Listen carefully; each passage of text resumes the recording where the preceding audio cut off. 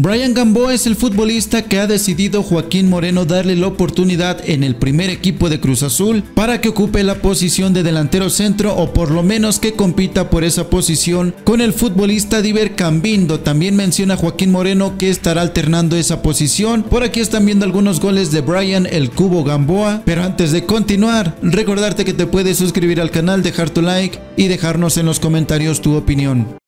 Bueno gente, costó un poquito de trabajo encontrar información sobre este futbolista, pero bueno, vamos a hablar de Brian Gamboa, el futbolista que Joaquín Moreno menciona el día de hoy que va a tener oportunidad en el primer equipo para que compita por ese puesto de delantero centro en Cruz Azul. Primero aclarar alguna cosa, el futbolista sí sería nombrado como nuevo refuerzo de Cruz Azul ya que llegó a la máquina para este torneo. El futbolista llega procedente de Diablos Tesistlán, que si no me equivoco el equipo está ubicado en Zapopan. De Brian Gamboa, ¿qué podemos decir? Un delantero centro de 21 años de edad y que se incorporó a la máquina para reforzar la sub-23. Debido a la falta de delanteros en Cruz Azul en este momento, es el elegido por Joaquín Moreno para tener participación en el primer equipo de Cruz Azul. Y a ver, voy a ser sincero, desconozco la calidad real de este futbolista, ya que cuesta bastante trabajo ver los partidos de las fuerzas básicas de Cruz Azul. Por el video que mostramos, se ve que es un futbolista que va bien por arriba y que parece ser que es un futbolista rápido también. Lo que me sorprende es que por lo menos en el video mostrado no se ve que cumpla las características que menciona Joaquín Moreno en la entrevista que da el día de hoy. Pero bueno, aquí Cruz Azul tiene una opción más, sinceramente espero ver minutos de este futbolista. Voy a tratar de tener comunicación con el mismo jugador a ver si podemos averiguar un poquito más de él y si es que nos puede explicar las características de juego. Aquí por lo menos se agradece que sea un futbolista joven y mexicano el que reciba la oportunidad. Ojalá que la sepa aprovechar. Quizá Cruz Azul no está para dar estas oportunidades, pero vuelvo a decirlo, debido a la situación en Cruz Azul en este momento, tampoco es descabellado tirar por algún futbolista de la cantera, aunque no es directamente canterano de Cruz Azul. Pero bueno, desearle suerte en los pocos o muchos minutos que pueda tener con Cruz Azul y de momento sería todo, ya sabes que si te quieres enterar de todas las noticias de la máquina, te puedes suscribir a este canal. Nos vemos en un próximo video.